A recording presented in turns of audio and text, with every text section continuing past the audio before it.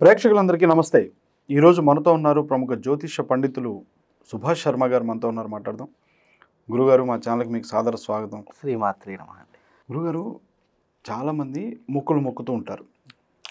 కొంత కొంతమందికి మొక్కులు తీరవు. కొంత కొంతమంది మొక్కులు తీరినా కానీ చెల్లించుకోలేని పరిస్థితిలో ఉంటారు. కొంత కొంతమంది మొక్కులు మేము ఎట్లాగో కోరాము మాకు అనుకున్న మొక్కు కాలేదు కదా తీరలేదు కదా అని చెప్పి ఆ మొక్కు తీర్చకుండా దాన్ని వాయిదా వేసుకుంటూ ఉంటారు. అసలు నిజంగా మొక్కు అనేటువంటిది ఎలా ఉండాలి? ఎలా మొక్కుకోవాలి? ఒకవేళ మొక్కిన తర్వాత ఆ మొక్కులను తీర్చకపోతే ఏమైనా నిజంగా దోషమా? లేకపోతే ఏదైనా అనర్థాలు ఇంట్లో జరుగుతాయి అనేటువంటి భయాందోళనలో చాలామంది ఉంటారు. దీనికి ఏం చెప్తారు? తప్పకుండా. మీరు అడిగిన క్వశ్చన్ చాలా బ్రహ్మాండంగా ఉంది. చాలామందికి అంటే సాధారణమైనటువంటి వ్యక్తుల నుంచి ధనికుల వరకు ప్రతి ఒక్కరికి ఆలోచించ ఆలోచింపజేసేటటువంటి ప్రశ్న ఇది. ముందుగా ఈ ప్రశ్న తెలియజేసే ముందు అమ్మవారి పాద పద్మాలకు నమస్కారం చేసుకుంటూ యాదేవి సర్వభూతేషు మాతృరూపేణ సంస్థితాం. నమస్తస్సై నమస్తస్సై నమస్తస్సై నమో నమ. ముందుగా మొక్కులు. అసలు మొక్కు అంటే ఏంటో ముందుగా మనం తెలుసుకుందాం. ఎందుకంటే మొక్కులు అందరూ మొక్కుతారు. అంటే కోరిక తీరే వరకు ఒక సమయము. కోరిక తీరిన తర్వాత దాన్ని మర్చిపోయేటటువంటి వ్యవస్థ ఈ మానవ జాతికే ఉన్నటువంటి అతి దుర్లభమైనటువంటి వ్యవస్థ. ఎందుకంటే మంచిగా ఉన్నప్పుడు అందరూ కనిపిస్తారు. చెడుగా ఉన్నప్పుడు ఎవ్వరూ కనిపించరు. చెడుగా ఉన్నప్పుడు అంటే మనం ఒక స్థితిలో ఉన్నప్పుడు మన దగ్గర ధనం ఉన్నప్పుడు వస్తువులు ఉన్నప్పుడు అన్నీ సమకూర్చేటటువంటి విధంలో ఎవరూ కనిపించరు. కన్ను మిన్ను కన్ను మిన్ని తెలియక అనేక రకాలైనటువంటి వ్యవధులు చేస్తూ ఉంటారు. ఏమీ తోచనటువంటి వాళ్ళు దిక్కు తోచనటువంటి వాళ్ళు భగవంతుడే దిక్కు అనేటువంటి వాళ్ళు చాలామంది ఉన్నారు ఈ ప్రపంచంలో. అలాంటి వారి ఎక్కువగా మొక్కులు మొక్కుతూ ఉంటారు. ఎందుకంటే ధనికులకు మొక్కులు అవసరం లేదు. వాళ్ళు డబ్బు ఉంటుంది ఎలాగైనా ఏ పనైనా సాధించగలరనే ఒక గర్వం ఉంటుంది. అది పక్కన పెడితే ఈ మొక్కులు మొక్కే వాళ్ళు ఎవరు ఉంటారు అంటే సాధారణమైనటువంటి వ్యక్తులు కూలు. నాలి చేసుకునేటటువంటి వ్యక్తులు చిన్న చిన్న స్థాయిలో ఉన్నటువంటి వ్యక్తులు ఎక్కువగా మొక్కుబడులు మొక్కుతారు. అయితే ఈ మొక్కులకు ప్రధానమైనటువంటి లక్ష్యము కారణం ఏమిటి అంటే ఎవరూ సహాయం చేయలేటటువంటి పరిస్థితులలో సహాయం చేసేవాడు భగవంతుడే. మనకు కోరిన కోరికలు ఇష్ట కామ్యార్థాలను తీర్చేటటువంటి వాడు భగవంతుడే అని ఎవరైతే విశ్వసిస్తారో వాళ్ళు ముఖ్యంగా మొక్కుకుంటారు. దాంట్లో ధనికులైనా కావచ్చు పేదవాళ్ళైనా కావచ్చు మధ్యతరగతి వాళ్ళు ఎవరైనా కావచ్చు. అయితే దీంట్లో ప్రధానమైనటువంటి లక్ష్యం ఏంటి అంటే మొక్కు అంటే ఏమిటి అంటే మన కా ఇష్టకామ్యార్థాలను తీర్చుకునేటటువంటిదే మొక్కు. ఆ మొక్కును ఎవరు తీర్చాలి? భగవంతుడే తీర్చాలి. అలాంటి భగవంతుడి దగ్గరికి ఫలానా నాకు ఈ కోరిక ఉంది స్వామి ఈ కోరిక తీరిస్తే నీకు తలనీలాలు ఇస్తానని ఒకళ్ళు ఈ కోరిక తీరిస్తే నీకు బంగారు ఆభరణాలు ఇస్తానని లేదా నీకు ఏదైనా ఐటెం చేయిస్తానంటే కిరీటం కానీ ముక్కు పుల్ల కానీ ఇలా ఏదైనా కోరిన కోరికలు తీరుస్తూ ఉంటారు. అలా కోరిన కోరికలు తీర్చేటటువంటి దాంట్లో ప్రధానమైనటువంటి స్త్రీలు ఎక్కువగా ఉంటారు. పురుషులు తక్కువగా ఉంటారు స్త్రీలు ఎక్కువగా. ఎందుకంటే స్త్రీలకు అనేక విధమైనటువంటి కోరికలు ఉంటాయి ఎందుకంటే కుటుంబ బాధ్యతను మోస్తారు. ఎన్నో రకాలుగా సతమతమైపోతూ ఉంటారు. కుటుంబంలో బరువు బాధ్యతలు మోసేటటువంటి స్త్రీకి ఎన్నో కోరికలు ఉంటాయి పిల్లవాడు బాగుండాలనో లేదా భర్త బాగుండాలనో సౌభాగ్యం ఉండాలనో లేదా ఆర్థిక పరిస్థితి బాగా ఉండాలనో ఇలాంటివి ఎన్నో మొక్కులు మొక్కుతారు ఇంట్లో ఉన్నటువంటి స్త్రీలు. వాళ్ళు ప్రధానంగా ఎక్కువగా మొక్కు మొక్కుకుంటుంటారు. అయితే దీంట్లో ప్రధానమైనటువంటి అంశం ఏమిటంటే మొక్కులు మొక్కుకునేటటువంటి సమయంలో మన అర్హతకు మించి మొక్కరాదు. ఎందుకంటే చాలామంది నేను మంచిగా అయిపోతే నీకు ఇది చేస్తాను తల్లి లేదంటే ఇది చేస్తాను స్వామి అని చెప్పేసి అర్హతకు మించినటువంటి మొక్కులు మొక్కుతారు. గొంతెమ్మ కోరికలు. గొంతమ్మ కోరికలు కోరుకుతారు. ఆ కోరికలు నెరవేరాయి అనుకోండి సపోజ్ నెరవేరాయి అవన్నీ కూడా ఆ మనిషి కోరుకున్నటువంటి విధంగా మనిషి ఒక ఒక పొజిషన్కి వచ్చారనుకోండి కోరికలు తీరుద్దా తీరుద్దామంటే సమయం దొరకదు. ఎందుకంటే అన్ని కోరికలు తీరిపోయాయి. చేసేది ఏం లేదు ఇక. ఆ సమయంలో మనిషి బిజీ అయిపోతాడో లేదా వేరే పనిలో పడిపోతాడో ఉన్న కోరికలు మర్చిపోతాడు. భగవంతునికి మొక్కినటువంటి మొక్కులు మర్చిపోతుంటారు. అది కొంతమంది మాత్రమే. అందరూ కాకుండా కొంతమంది వరకు మాత్రం మర్చిపోతూ ఉంటారు. అలా మొక్కినటువంటి కోరికలు ఏవైతే ఉన్నాయో తీర్చకపోతే భగవంతుడు ఏమీ చెడు చెయ్యడు ఇక్కడ. ఎందుకంటే చెడు చేసేటటువంటి వాడు భగవంతుడు కాదు. కాకపోతే ఉదాహరణకు నేనున్నానండి. స్వామి నాకు ఈ రోజున ఒక లక్ష రూపాయలు ప్రసాదించు తండ్రి. నాకు లక్ష రూపాయలు వస్తే నేను నా పెద్ద బాధ్యత తీరిపోతుంది స్వామి అని చెప్పేసి మొక్కుతాను. ఏదో ఒక కారణం చేతనో ఏదో ఒక అవసరం చేతనో ఆ భగవంతుడు నాకు ఏదో ఒక రూపంలో ఒక లక్ష రూపాయలు ఇచ్చారనుకోండి నా కష్టం తీరిపోతుంది అక్కడ. నేను వెంటనే ఏం చేయాలి? స్వామివారికి మొక్కుకున్నటువంటి కోరిక. నెరవేర్చుకోవాలి. నెరవేర్చుకోవాలి అని అంటే నేను తప్పకుండా ఆలయానికి వెళ్ళి అక్కడ మొక్కు నెరవేర్చుకోవాలి. కానీ నేను మర్చిపోయి ఏం చేశాను? వేరే పనిలో పడి ఆ మొక్కు కాస్త మర్చిపోతే నాకేమవుతుంది? దేవుడు నాకు నేను అనుకున్నటువంటి విధంగా లక్ష రూపాయలు ఇచ్చాడు. అది నేను మర్చిపోవడం ద్వారా నాకేమైంది? పది లక్షల నష్టం వచ్చింది.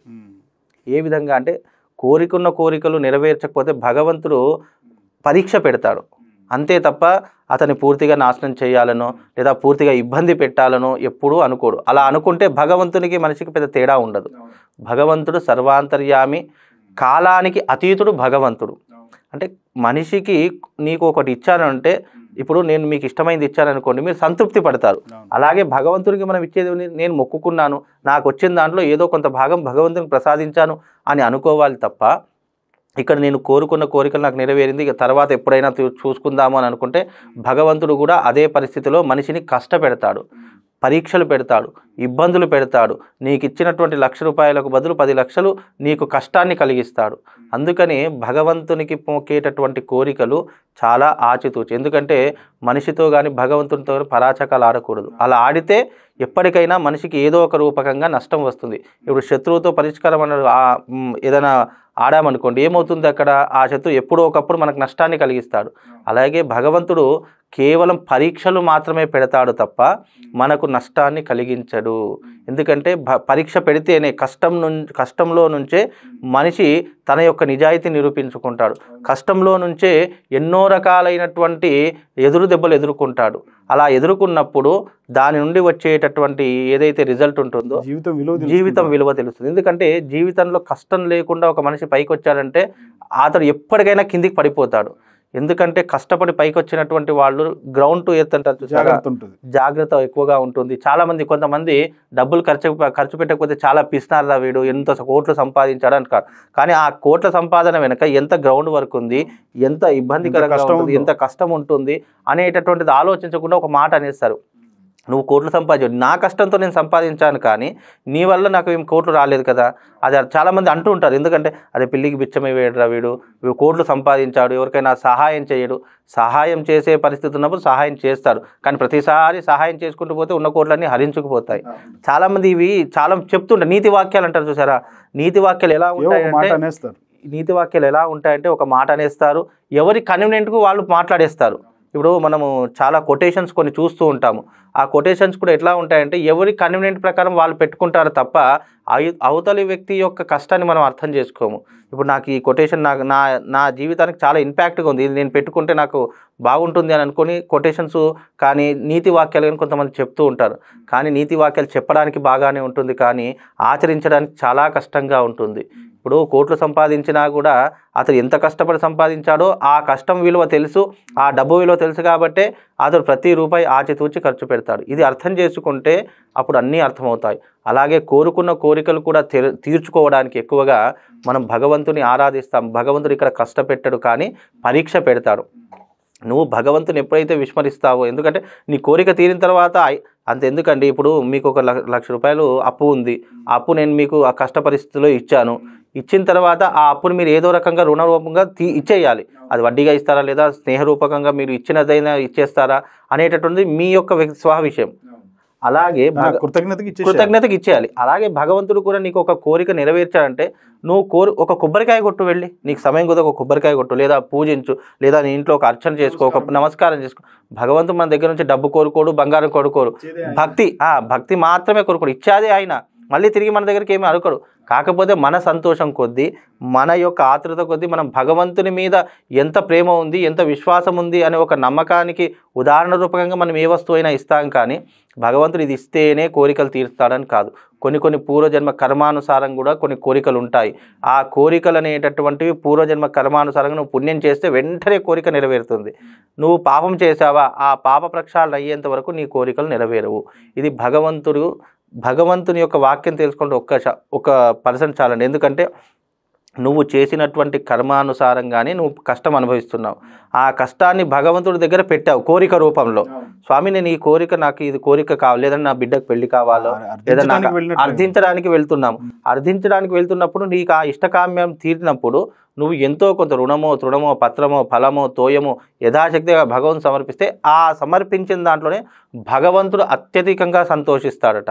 ఆ ఒక్క కోరిక ఈ నువ్వు ఏ కోరికైనా కోరుకో నువ్వు లక్ష కోట్లు కోరుకో కానీ భగవంతుడికి ఒక పుష్పం పెడితే చాలు నీ జోలికి భగవంతుడు రాడిగా ఎందుకంటే నీకు భగవంతుడు ఎప్పుడు నష్టం కలిగించు కానీ నువ్వు భగవంతుని మర్చిపోతే మాత్రము లేదా నాకు ఇన్ని కోట్లు వచ్చాయి నాకు ఏం కష్టం ఉంది ఏమీ కష్టం లేదు ఏమి ఇబ్బంది లేదు నేను గుడికి వెళ్ళినా నడుస్తుంది నడవకున్నా వెళుతుంది నేను ఏం చేసినా నడుస్తుంది అని అహంకారంతో పోతే అహంకారాన్ని అణగదొక్కుతాడు. శిబి చక్రవర్తిని చూసాము ఎంతోమంది పురాణవేత్తల్లో ఎంతోమందిని చూసాము రావణ కుంభకర్ణాదులు చూసాము ఎంతోమందిని చూసాము అహంకారంతో ఎవరైతే ఉంటారో వాళ్ళకి ఎప్పటికైనా నాశనం తప్పదు. ఎప్పటికైనా పతనం అనేటటువంటిది తప్పదు. కాకపోతే కోరుకున్న కోరికలు నెరవేరాలి అని అంటే భగవంతుని భక్తితో నమస్కారం చేయాలి. లేదా నీకు తోచినటువంటి విధంగా కొబ్బరికాయ కొడతాను ఒక ఫలం ఇస్తాను లేదా నీకు ఆస్తి బాగా ఉంది నీకు కిరీటం చేసి ఇస్తాను ఏదో ఒకటి మనం మొక్కుకుంటాం. ఆ మొక్కులకు ఉదాహరణ మనం భక్తితో మొక్కుకోవాలి. మన కోరిన కోరిక నెరవేరితే గనక తప్పకుండా ఆ మొక్కును తీర్చుకుంటే మనకు అన్ని రకాలుగా శుభం జరుగుతుంది. ఇంకా భగవంతుడు మాకు ఎన్నో అష్టైశ్వర్యాలు ప్రసాదిస్తాడు. లేకపోతే మనిషికి అనేక విధములైనటువంటి పరీక్షలు పెడతాడు. కష్టానికి గురి చేస్తాడు బాధకు గురి చేస్తాడు కుటుంబ కలతలకు గురి చేస్తాడు. ఎన్నో రకాల పరీక్షలు చేసిన తర్వాత అప్పుడు నువ్వు గుర్తుకొచ్చినా పెద్ద ప్రయోజనం ఏం లేదు. కానీ అవన్నీ పరీక్ష పెట్టి ఆ తర్వాత మళ్ళీ నీకు మంచే చేస్తాడు కానీ చెడు మాత్రం చేసేటటువంటి వాడు భగవంతుడు కాదు. అలా చెడు చేసేటటువంటి వా- తప్పుని తెలియజేస్తాడు. తప్పుని తెలియజేస్తే తెలియజేస్తేనే కదా కష్టంలో నుంచి నువ్వు కనువిప్పు కలిగిస్తేనే కదా మనిషికి అర్థమయ్యేది. ఎందుకంటే ఇప్పుడున్న జనరేషన్లో ఎవరండి దేవుణ్ణి మొక్కేది? ఇప్పుడు ఉదాహరణకు ఒక మంచి ఒక సినిమా రిలీజ్ అవుతుంది అనుకోండి ఒక దిక్కు మనకు దేవత పూజలు జరుగుతున్నాయి అనుకోండి ఎవరైనా మనిషి అంటే ఆధ్యాత్మికంగా ఉన్నటువంటి వ్యక్తి ఇటు వస్తారు లేదు నాకు ఇవన్నీ ఎందుకులే ఇవన్నీ తలకాయ నొప్పులు హాయిగా సినిమాకి వెళదాం అనుకుంటా. అంటే మనిషి ఎంటర్టైన్మెంట్ కోరుకుంటున్నాడు కానీ భక్తిని కోరుకోవడం లేదు ఇక్కడ. ఈ మనిషికి ఎప్పుడు ఎంటర్టైన్మెంట్ కావాలి. ఎక్కడ ఎంటర్టైన్మెంట్ దొరికితే నేను అక్కడికి వెళ్ళిపోతా ఇక. నాకు ఈ పూజలు ఈ పునస్కారాలు అలాంటి సమాజంలో బతుకుతున్నాం. ఏ మీరు అడిగిన ప్రశ్నకి ఏంటి అంటే ఈ కోరికలు అంటారా? ఎంతోమంది కోరుకుంటున్నారు ఎంతోమందికి తీరుతున్నాయి. అవన్నీ తీరుతున్నాయి అంటే భగవంతుడు ఉన్నాడని నిదర్శనం మనం నమ్ముతున్నాం కాబట్టి ఇంకా పలువురు కొంతమంది భగవంతుడు దర్శనం చేసుకుంటారు. లేదంటే జీవితంలో ఎంటర్టైన్మెంట్కి ఇచ్చినటువంటి విలువ ఇక్కడ భక్తికి ఇవ్వలేదు ఇవ్వడం లేదు కాబట్టే మనిషి అనేక కష్టాల పాలవుతున్నాడు అనేక రోగాల పాలవుతున్నాడు అనేక ఇబ్బందుల పాలవుతున్నాడు. నువ్వు ఎంటర్టైన్మెంట్కి ఇచ్చే సమయం ఎంటర్టైన్మెంట్కి ఇవ్వు. భగవంతునికి ఇచ్చే సమయం భగవంతుడు. నీకు భగవంతుడు ఇరవై నాలుగు గంటలు ఇక్కడ కూర్చోమన్నాడు కదా. రోజులో ఒక పది నిమిషాలు లేదా ఒక ఐదు నిమిషాలు భగవంతుని కేటాయిస్తే నువ్వు మొక్కుకోవాల్సిన అవసరం లేదు. నీ కష్టం తెలిసినప్పుడు ఆ భగవంతుడే నీ కష్టాన్ని తీరుస్తాడు. ఇప్పుడు మొక్కులు ఎందుకు మొక్కుతారు? ఏదో కష్టం వచ్చిందని మొక్కుతారు. అంతేగాని నాకు ఈ కష్టం ఉన్నది స్వామి ఈ కష్టాన్ని తీర్చు అని చెప్పి మనం అడిగేదాకా భగవంతుడు చూడవు అయితే గురుగారు ఒక చిన్న సందేహం. అంటే చాలా మంది ఇప్పుడు కొంతమంది మొక్కులు మొక్కుకొని ఉంటారు. వాళ్ళు కొంతమంది తీరకుండా అంటే తీర్చకుండా ఉన్న వాళ్ళు ఉండి ఉంటారు. వాళ్ళకి ఏదో పాపం చిన్న చిన్న ఏదైనా ఏదైనా ఇంట్లో ఏదైనా చిన్న చిన్న ఏదైనా జరిగినా కానీ ప్రతికూల పరిస్థితులు ఏర్పడినా కానీ అవన్నీ ఆందోళన చెందుతుంటారు. ఇప్పుడు అలాంటి వాళ్ళకి ఏదైనా సరే పొరపాటు ఏదో జరిగిపోయింది అయితే జరిగిపోయింది కానీ అలాంటి వాళ్ళకి పరిహారం ఏమన్నా ఉంటుందా? ఉంటుందండి. ఇప్పుడు పరిహారం లేకుండా ప్రశ్న లేకుండా సమాధానం లేదు సమాధానం లేకుండా ప్రశ్న పుట్టదు. అలాగే ప్రతిదానికి పరిహారం ఉంటుంది.